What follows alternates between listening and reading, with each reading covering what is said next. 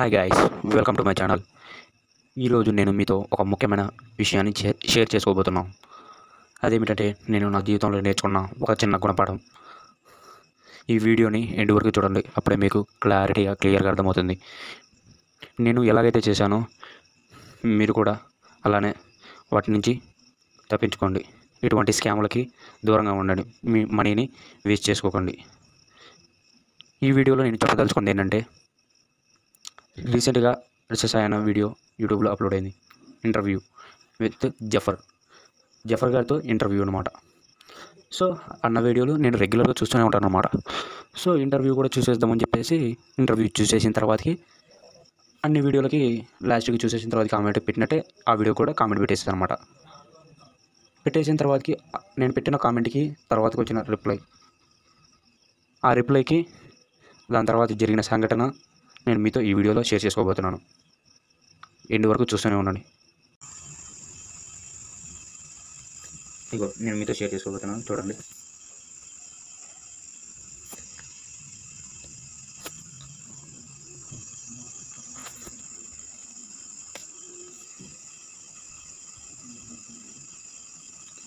ఇవ్వండి నేను అతనితో చేసిన చాటు. పైన చూస్తున్నారు కదా పేరు? ఓకే. అయితే నేను టెలిగ్రామ్లో సార్కి మెసేజ్ చేశాను.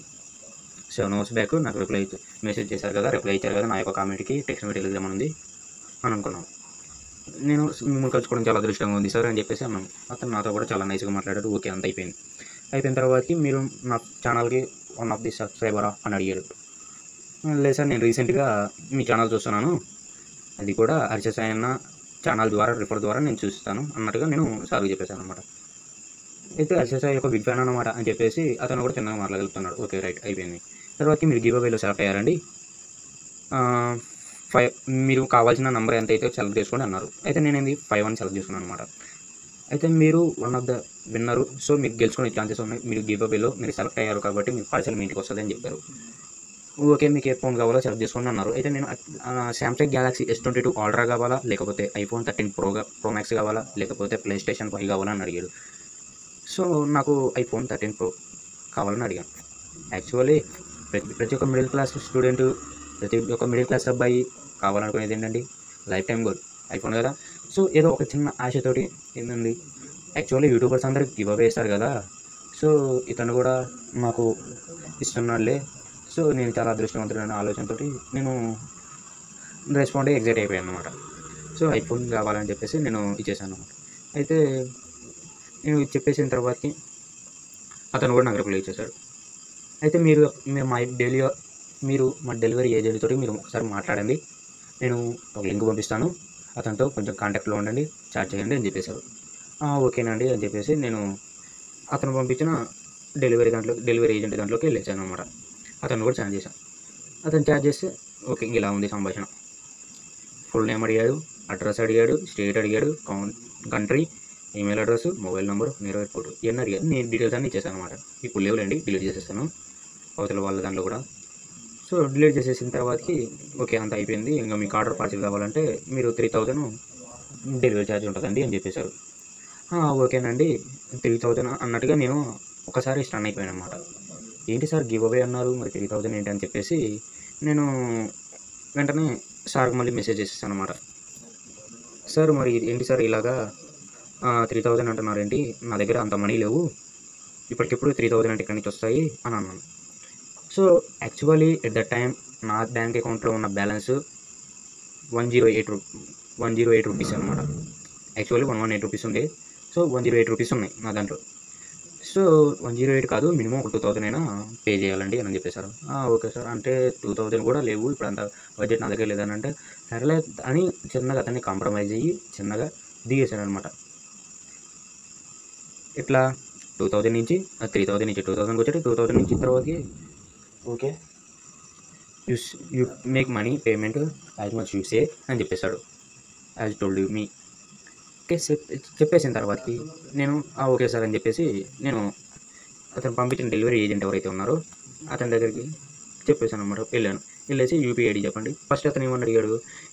నీకు PhonePe Paytm Google Pay UPI ఈ మూడు ఈ నాలుగిట్లలో మీరు దేని ద్వారా ట్రాన్సాక్షన్ చేస్తారంటే యూపీఐ అని సెండ్ పే అని పెట్టేశాను పెట్టేసిన తర్వాతకి అతడు immediately payment done screenshot of it okay అని పెట్టేశారు ఓకే సార్ అన్నట్టుగా నేను ఉన్నాను అనమాట యూపీఐ ఐడి ఇచ్చాడు నేమ్ ఇచ్చాడు అంత అయిపోయింది. నేను అతను చెప్పినట్లుగా మీ కాడ ఎంత ఉంటే అంత చె- చేయండి అన్నారు.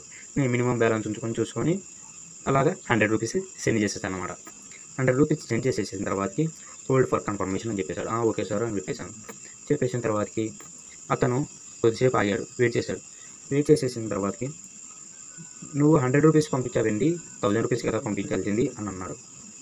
అది అతనితో మాట్లాడిన తర్వాత ఎవరు ఇట్లు మీ చెప్పారు అన్నట్టుగా ఉన్నాడు కదా. అతనితో మాట్లాడిన తర్వాత నువ్వు అతనికి ఎంత పే చేసావు అని అడిగాడు. అయితే what you are paying thousand not hundred నువ్వు థౌజండ్ పే చేయాలి కానీ హండ్రెడ్ పే చేసావంటే అంటే నా దగ్గర హండ్రెడ్ ఉన్నాయి సార్ థౌజండ్లే లేవు అన్నారు. ఇప్పుడు నువ్వు కనుక రెడీగా లేకపోతే నువ్వు మనీ పంపించకపోతే నీకు పార్సిల్ రాదు. ఈ పార్సిల్ వేరే వాళ్ళకి వెళ్ళిపోతుంది అని అన్నారు. సో సార్ ప్లీజ్ నా దగ్గర అంత అమౌంట్ లేదు. ప్లీజ్ ఎవరికి సెండ్ చేయకుండా పార్సిల్ నేను తీసుకుంటాను అన్నట్టుగా నేను చేశాను అనమాట అయితే మళ్ళీ తర్వాత వచ్చిన రిప్లై ఏంటంటే యాక్చువల్ ఓన్లీ థౌజండ్ రూపీస్ అంతకంటే ఎక్కువ తీసుకోమని అన్నారు. అయితే నా దగ్గర ఉన్నాయి ఫుల్ అమౌంట్ ఆఫ్టర్ పేమెంట్ తర్వాత నా యొక్క అమౌంట్ రెండు పంపించాను అనమాట బిఫోర్ ట్రాన్సాక్షన్ ఆఫ్టర్ ట్రాన్సాక్షన్ అనమాట అయిన తర్వాత కూడా మినిమం ఒక థౌసండ్ రూపీస్ పంపిస్తే కానీ మీకు డెలివరీ అవ్వదు అని చెప్పేశారు. ఓకే ఓకేనండి అన్నట్టుగా నేను చిన్న కొంచెం మట్టి ఇటు సందిగ్ధంలో ఉన్నాను అనమాట కొంచెం ఆలోచిస్తున్నప్పుడే ఏంటి ఇలా జరుగుతుంది? ఇప్పటికిప్పుడు అంత మనీ? ఎక్కడి నుంచి అక్కడి నుంచి ఎక్కడి నుంచి నేను ఆలోచిస్తున్నాను చిన్నగా అతనికి బేరాన్ని దిగాడు అనమాట ఏమంటున్నాడు? థౌజండ్ రూపీస్ నుంచి నా దగ్గర అంత మనీ లేవు సార్ అన్నాను. ఓకే తర్వాత ఎయిట్ ఫిఫ్టీకి దిగాడు. ఓకే సార్ అన్నాను. చేసిన తర్వాత ప్లీజ్ సార్ డోంట్ బ్యాక్ అన్నాను. ఓకే. అంత అమౌంట్ ఇప్పటికిప్పుడు ఎక్కడి నుంచి వస్తుంది సార్ అని మళ్ళీ టైప్ చేశారు. ఓకే. ఇప్పుడు అతను ఏమంటున్నాడు? Last how much you can pay అని అన్నాడు. ఇప్పుడు ఇప్పటికిప్పుడు ఎంత పే చేయగలను అంటే మినిమం అప్పుడు నేను ఇమాజినేషన్ మినిమం ఒక five hundred or four hundred పంపిద్దాం అనుకున్నాను. సో నా దగ్గర అమౌంట్ లేదు. సో నేను మా ఫ్రెండ్స్ని అడిగేసాను సార్ అని చెప్పేసాను. చెప్పేసిన తర్వాత అప్పటికి నేను మా ఫ్రెండ్స్ని అడుగుదామని ఒక చిన్న క్లారిటీ తోటి మా ఫ్రెండ్స్ని అడుగుదామని ట్రై చేశాను. కానీ ఎవరి దగ్గర మనీ లేకపోవడంతో కొంచెం ఆగాను అనమాట ఆగి ఒక వన్ మినిట్ ఆలోచించారు అదేమిటంటే ఏ యూట్యూబర్ కూడా ఇంత ఫ్రీగా చాట్ చేయడు.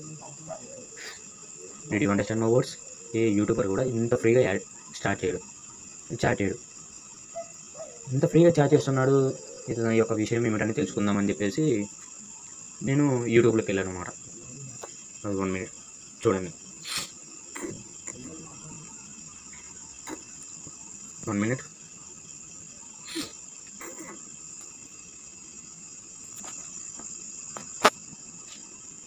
hmm. యూట్యూబ్లోకి వెళ్ళాను. యూట్యూబ్లోకి వెళ్ళిన తర్వాతకి కామెంట్ సెక్షన్ ఓపెన్ చేశాను. కామెంట్ సెక్షన్ ఓపెన్ చేసిన తర్వాతకి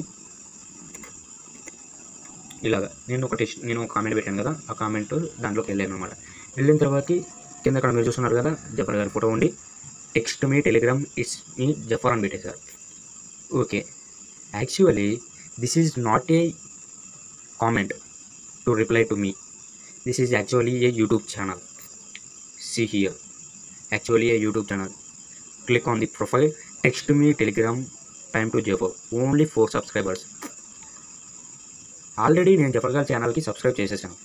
చేసేసిన తర్వాతకి ఇక్కడ మళ్ళీ సబ్స్క్రైబ్ అని అడుగుతుంది. అక్కడ జఫర్ గారికి seventy four thousand seventy seventy two point nine K subscribers ఉండగా ఇక్కడ ఫోర్ సబ్స్క్రైబర్స్ ఉన్నారు. చూడండి ఫ్రెండ్స్ జాగ్రత్తగా గమనిస్తున్నారా? చూడండి. టెక్స్ట్ మీ టెలిగ్రామ్ ఇక్కడ ఏంటంటే ఒక రకమైన స్కామ్ నడుస్తుంది యూట్యూబ్లో ఇదేంటంటే కామెంట్స్ చేయకుండానే ఇక్కడ యూట్యూబ్ ఛానల్నే కామెంట్ లాగా పెట్టేసి ఎవరైతే ఒక ఛానల్కి కామెంట్ చేస్తున్నారు. వాళ్ళ యొక్క మైండ్ని డైవర్ట్ చేసి వాళ్ళని చిన్నగా ఒక వల్లలోకి లాగినట్టుగా టెలిగ్రామ్ అనే ఒక దాంట్లోకి లాగేసి ఆ టెలిగ్రామ్లో వాళ్ళతో సంభాషణ జరిపి మీ డెలివరీ ఛార్జ్ ఎంత అవుతుందండి? మీకు గివ్ అవే వేస్తున్నాము. ఇలా అలా ఇలా అలా అని చెప్పేసి మొత్తం శాంతం నాకేస్తారు అట్లా యాక్చువల్లీ నా అమౌంట్ నా యొక్క వ్యాలెట్లో one one eighty rupees one one eighty rupees ఉండబట్టి చదివింది అట్లా కాకుండా డైరెక్ట్ త్రీ థౌజండ్ అని ఉండుంటే నేను కూడా డైరెక్ట్ ఓన్లీ పేమెంట్ చేసేసేవాడేమో సో నేనేమంటానంటే ఇటువంటి కొత్త రకంగా యూట్యూబ్లో జరుగుతున్న స్కాముల గురించి కొంచెం జాగ్రత్త వహించండి. అయితే ఇప్పుడు ఇంకో విషయం.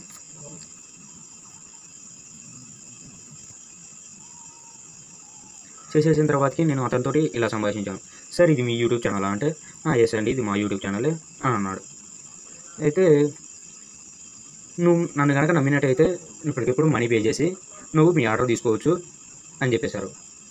ఓకే సార్ నేను ఒకసారి నేను మీతో మాట్లాడతాను. మీరు నాకు నెంబర్ ఇవ్వండి అన్నాను ఇప్పుడు ఇదంతా జరిగిన తర్వాత ఇది అయిపోయిన తర్వాత నాకు అర్థమైంది విషయం తర్వాత నాకు అర్థమైంది.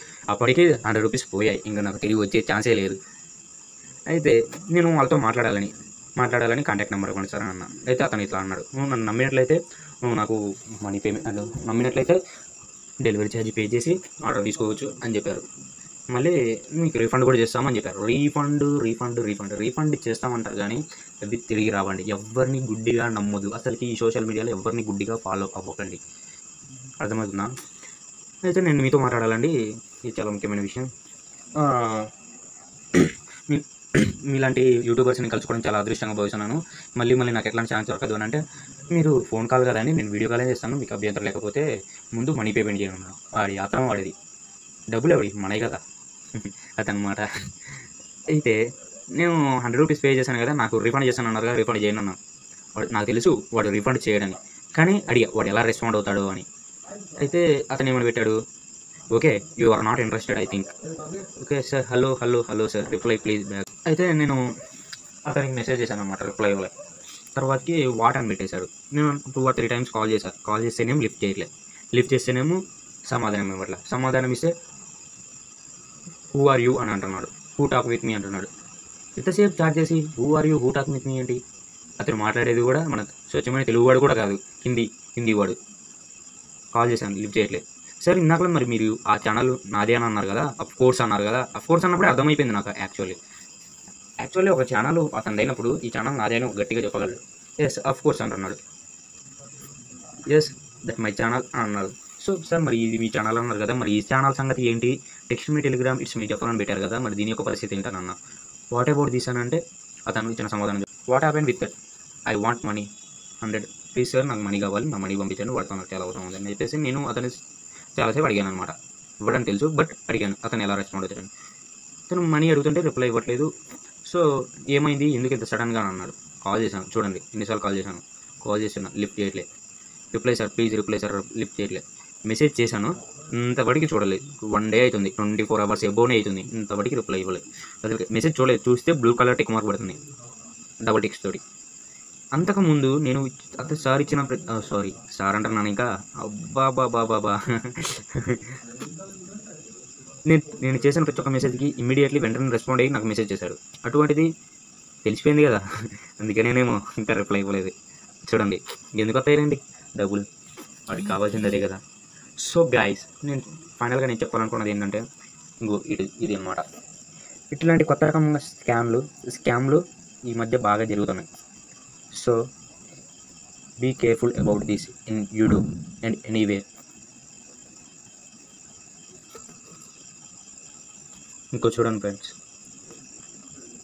యాక్చువల్లీ ఇట్లు మీ జఫర్ అన్న ఉన్న ఛానల్లో ఎవరిదైతే యూట్యూబ్ ఛానల్ ఉందో ఇతనిది ఈ ఛానల్ అనే కాదు ఏ ఫేమస్ యూట్యూబ్ ఛానల్ అయినా ఏ ఎవరి ఛానల్ అయినా సరే ఒక ఆ యూట్యూబ్ ఛానల్ ఓనర్ ఎవరైతే ఉన్నారో వాళ్ళ దగ్గర నుంచి కామెంట్ వచ్చినప్పుడు ఇంకో ఇక్కడ చూడండి ఎలా ఉంటుంది అనమాట ఇట్లు మీ జఫర్ అని ఉండేసి దాని చుట్టూ ఒక బ్లాక్ కలర్ బాక్స్ ఉండి మెరూన్ కలర్లో ఎలా ఉంటుంది అనమాట వాళ్ళు మనకి ఇచ్చిన రిప్లై ఇది ఒరిజినల్ రిప్లై అనమాట సో ఇక్కడ ఎలా ఉందనంటే ఇది యాక్చువల్లీ చూస్తున్నప్పుడు ఒక రిప్లై లాగా ఉందన్నమాట చూడండి.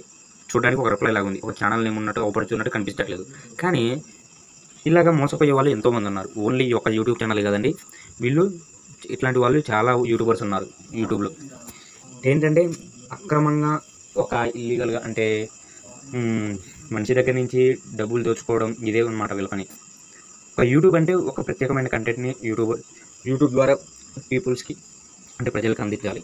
స్టూడెంట్స్కి అందించాలి. ఇట్లా ఒక ప్రత్యేకమైన ప్రతి విధి విధానం ఉంటుంది. సో ఇట్లాంటి వాటికి మీరు పాల్పడకండి. అండ్ ఇటువంటి వాటికి మీరు ఇమీడియట్గా రెస్పాండ్ కాకండి. ఓకేనా?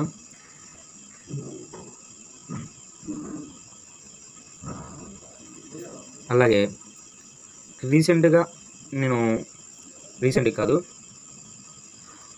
ఒక ఒక five months back four or five months back ఇలానే గురు డాట్ కామ్ లాగిన్ మీకు దీని గురించి తెలిసే ఉంటుంది. నేను ప్రత్యేకంగా చెప్పాల్సిన అవసరం లేదు. గురువు డాట్ కామ్ అనమాట నువ్వు చూడండి యాక్చువల్గా నేను నా అకౌంట్ ఓపెన్ చేసి చూపిస్తాను.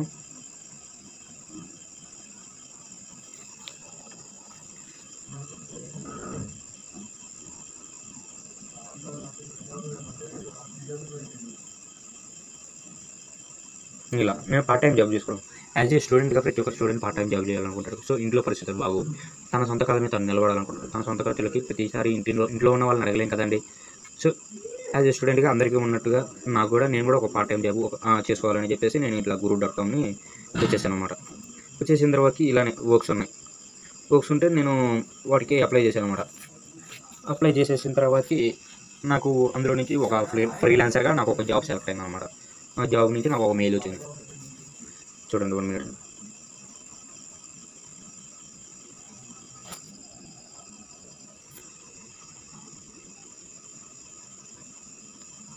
వచ్చేసింది అనమాట ఒక వన్ మినిట్.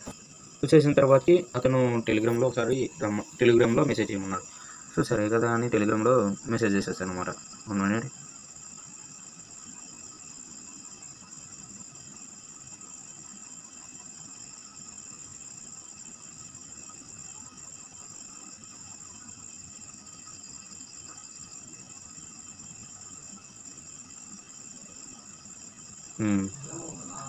మోర్ఘన్ బ్రాయన్ చూసారు కదా?